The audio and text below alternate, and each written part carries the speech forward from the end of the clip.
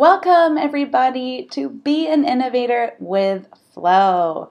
I am Rebecca Saar, and I am super excited to have you join us to amp up your awesome admin superpowers by delivering innovation with Flow Builder. All right, so we are kicking off a six part video series where we will go step by step to build an automated business process from start to finish. So, watch each video, share your progress online, and get a chance to win some fun prizes. All right, so for this adventure, we are going to be building a flow to help our users at Sunshine Chocolates better manage and get feedback on projects. This will help them improve their project management and thus um, continue to have really happy and loyal customers at Sunshine Chocolates. So follow along and build this exact same flow that we are building or take these learnings and apply them to some unique situations that you are looking to automate, um, whether it's at your company or personally. All right, so for day one, we are going to take the very first step, and that is to identify the problem. And I'm super excited to hear from Principal Admin Evangelist LeeAnne Rimel and Senior Admin Evangelist Marc Baizman about how we can really take our time to understand what the problem is, understand what the current business process is that is in place so that we can gather all the right requirements and really make sure we have what we need to build something successful in Salesforce. All right, so let's go hear from them. Thanks, Rebecca, and welcome, awesome admins. We're so excited to be with you over the next six videos where we go through and build an awesome flow in our environments and deliver great automation and solve problems for our users. My name is LeeAnne Rimel. I'm an admin evangelist here at Salesforce. And I'm Marc Baizman. I'm also an admin evangelist here at Salesforce. So we're super excited that you're here and we're gonna get started by talking through how we decide what flows to build, how we decide what automation to build. And this is applicable for anything you're gonna build in Salesforce because the very first thing we wanna do is identify the problem right? So why do we do this, Mark? Well, we do it mostly because we don't want to just transfer our existing process into Salesforce without thinking through what the exact problem is and understanding in business process terms what it is that we're going to do. So it's right. super critical to make sure that you understand the process first. So in order to get started on the flow we're gonna eventually build, and I promise we are gonna get hands-on with building flow with the new flow builder, which is so fun. The first thing we're gonna do is talk about what is the problem we are trying to solve. Now, in our demo environment, in our scenario we're talking through in these videos, we're going to be talking about a company called Sunshine Chocolates. Delicious. It's our favorite demo candy company.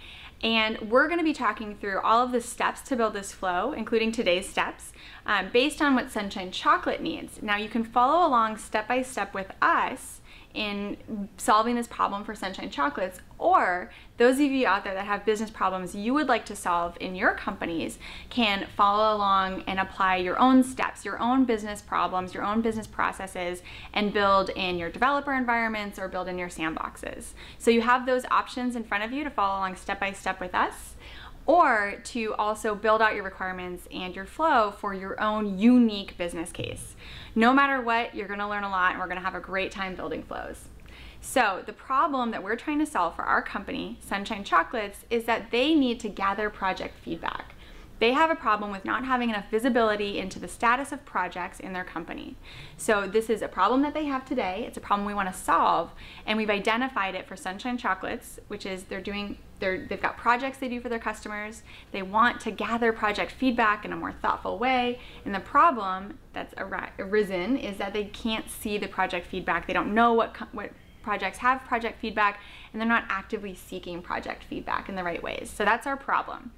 Now we're gonna go through and gather our requirements because once we've identified the problem for any business, then we go through the steps of gathering requirements. So Mark, what is the first thing we do when we're going to start gathering requirements? So the very first thing we're going to do is identify our key stakeholders. And stakeholders is just a fancy word for people who have some sort of vested interest in the process or are affected downstream in the process. So these are folks like, could be an executive or could be uh, hands-on users ultimately, these key stakeholders are people that will be affected directly or indirectly by this process.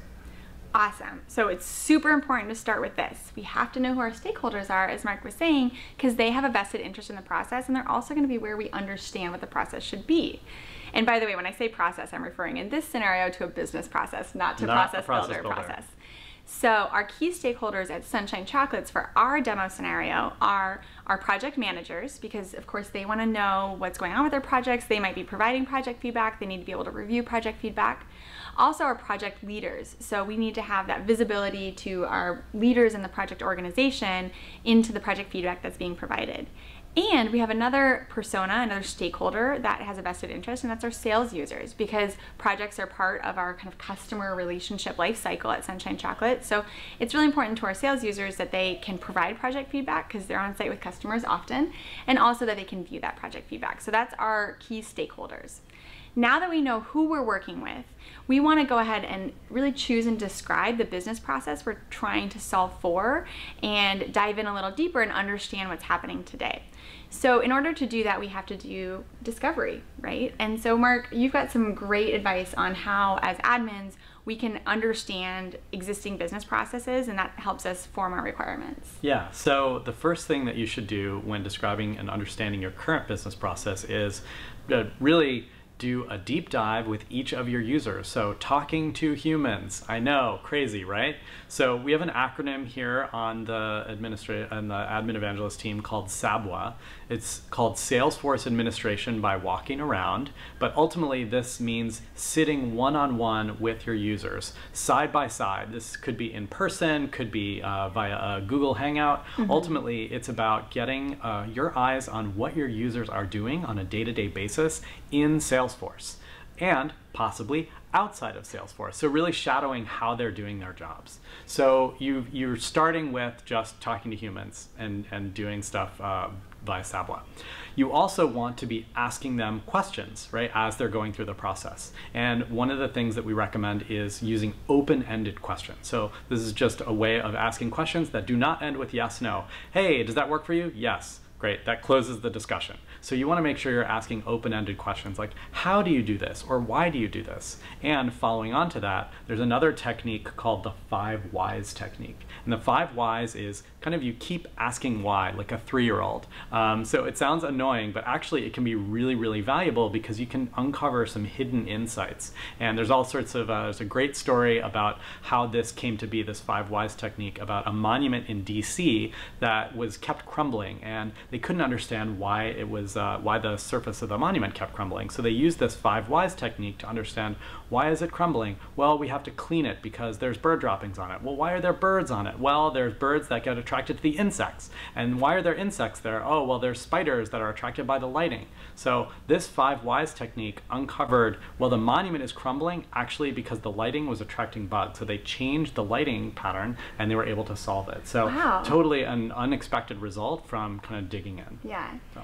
And I, I love that five whys, like thinking about going more layers, you know, into understanding the background of something. There's actually another, believe it or not, another Marc B at Salesforce. Oh, really? Uh, we, Marc Benioff. I don't know if you have you heard of him. I have, Yeah. I have. Um, but he talks a lot. Our founder and CEO of Salesforce, Marc Benioff, who is you know very knowledgeable in the space of technology, talks a lot about the beginner's mindset.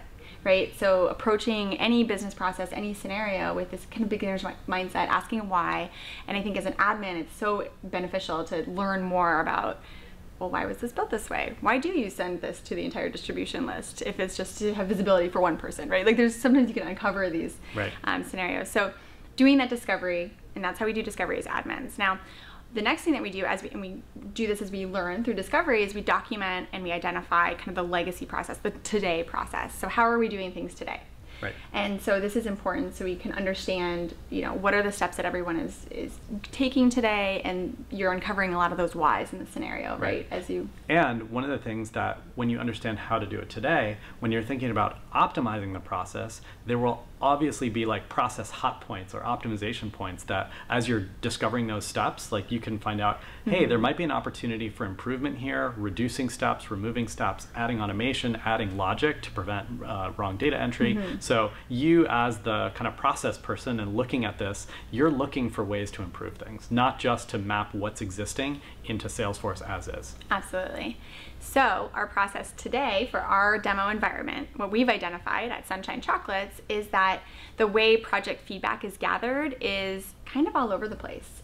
Um, it's not necessarily, it's not sought, right? There's not a process by which people are like formally always introducing project feedback for every project on a timeline. It kind of happens ad hoc. And this is something that we see a lot just with many companies and many different types of business processes. Um, it comes through like email, it might come through people adding notes onto like a project document. A random Google sheet. A random Google sheet, adding comments in different places. So that's sort of where we've uncovered this need is because there is, uh, it's happening, this project feedback process is happening in places, but it's not consistent, it's not automated, it's not reportable. So it's kind of happening in all of our existing systems. It might happen when someone walks by your desk and tells you the status of a project. So we've uncovered that as the today scenario. So once we've uncovered the today scenario for our business process and kind of what we're doing today, and we've done more discovery, then we can start to document our requirements right? And so it's important to, to manage scope and to manage your project that you really clearly identify um, what are the requirements right, Mark? That's right. That's right. So it could be down to, you know, field level, object level, right? What's the data that you're collecting in that instance? Um, but it also might understand, you might need to know what are the individual steps and who's doing them. Mm-hmm. And being able to visualize that in, say, a flow chart or using some other tools, uh, a whiteboard. It doesn't have to be very fancy, it can just be a list of steps, but ultimately understanding what that kind of desired process is going to be. Mm-hmm. And what it can accomplish, right? So um, when we looked at our current use case with Sunshine Chocolates and we said, okay, we've got this project process today, we've got our stakeholders, we asked a lot of good why questions. So our requirements, we're gonna boil this down to be pretty simple for this scenario is we've got a few main requirements, right? We need our new project feedback process to be something that's visible to everybody who works with a project, right? So we need it to be something that's kind of surfaced and visible and very accessible to anyone who's engaging with a project. Um, we also need it to be reportable, right? So one of the pains that we uncovered with our kind of business problem is that we didn't have a lot of visibility, like top level visibility into uh, maybe projects that were getting poor feedback and needed attention, or projects that were getting great feedback. And what did we do there? How do we repeat that, right? And so we didn't have a lot of, you know, kind of historical information or information being bubbled up around um, that reporting and data of uh, aggregating all that feedback information in one place. And the third is that we want to be able to continue to add business logic to this process, right? And we want this to be, we want, as we think about gathering project feedback, we want to be doing it in a way that permits us to, in the future, apply like maybe more business logic, maybe escalation processes, things like that um, to it. So those are kind of our top level requirements that we identified for our Sunshine Chocolates uh, demo environment. And I feel like we're good on our requirements. We've talked through how we would gather those requirements. Now, in order to follow along with us, let's jump into our demo environment so that I can show you the objects we're gonna be working with and you can build click by click with us that project and project feedback object we're going to build.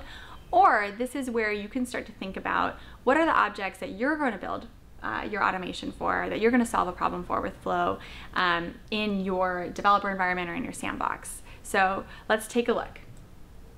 So we're here in our Sunshine Chocolates org and we're gonna use the object manager create object to build our project object.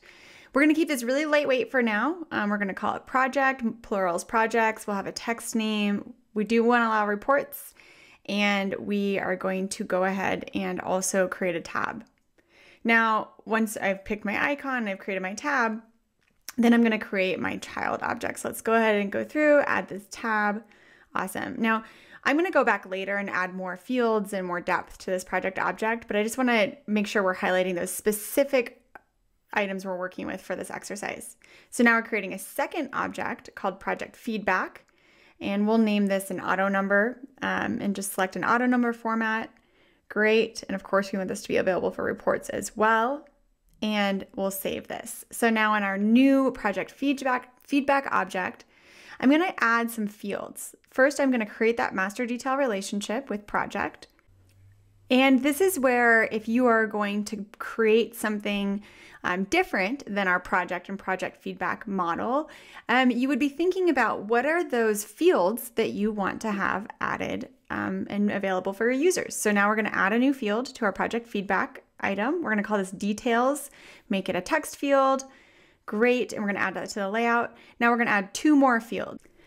We're going to select a checkbox here and we'll call this needs escalation. Now, whichever fields you're creating in your own examples and use cases, just make sure that you jot them down or remember exactly what fields you're collecting and what fields you want your users to um, be able to populate. So the next one is a pick list for rating. We're going to enter our own values one, two, three, four, five. So we've got our project feedback object, which is going to be the primary object we're working with. And it has four fields. We've got details, a checkbox, a pick list, and then that master detail relationship, that lookup field. Let's go ahead and jump into our project tab and just test it out really fast. We're gonna create a new project. We'll just call this new project. Um, again, I'm to go back and add more fields later, but the important part is this project feedback object. So I can see those four fields that I created, and I'm going to be ready to build my automation around these two objects. So I hope you enjoy building that out on your own, um, or go ahead and just build any objects that you'd like to work with or any fields you'd like to work with in your developer or sandbox environments. And in the next video, we'll be spending more time on how to document out that desired process flow. So that's all for video one, and back to you, Rebecca. Wow, that was awesome. Thank you, Mark and LeeAnne. I learned so much about identifying the problem and gathering those requirements that we need to start building our automated process. Just to summarize, my main takeaways were one, talk to your users and really understand their needs. Keep questioning them and asking why. And then, of course, identify who those key stakeholders are that we need to involve in each step as we build out this automated process. Um, and lastly, take the time to define the requirements and document them and really understand what it is that we are going to build. All right, now it's your turn take a look at the requirements worksheet and fill out the answers for yourself. You can find a link to the um, worksheet in the Be an Innovator with Flow Trailmix. And of course, we want you to share this on Twitter using hashtag Be an Innovator. In order to enter the sweepstakes, all entries for video one must be completed and tweeted to us by midnight at 12 a.m. Pacific time on April 21st. Restrictions apply, so do see the rules for details. And then join us for video two of Being Innovator with Flow to learn how to define the business process from start to finish so we can be ready to build. See you next time. Awesome